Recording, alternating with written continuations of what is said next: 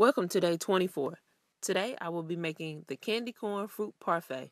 For this cute and healthy dessert, you will need one 11 ounce can of mandarin oranges, one 8 ounce can of pineapple, whipped cream, and candy corn.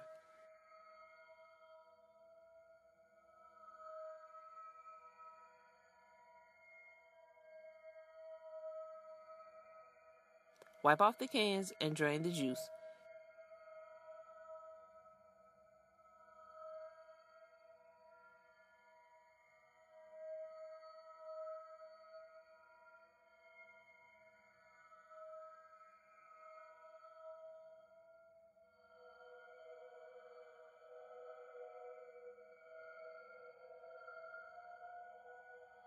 Into a decorative glass, layer fresh pineapple on the bottom and mandarin oranges on top.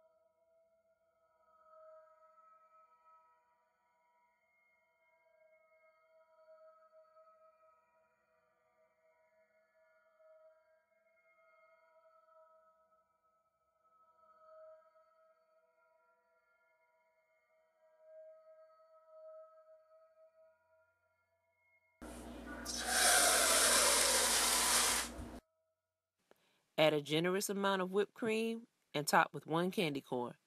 I hope you enjoy.